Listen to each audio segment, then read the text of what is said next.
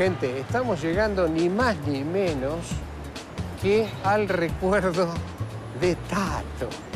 Tato Bores. Negro, escúchame.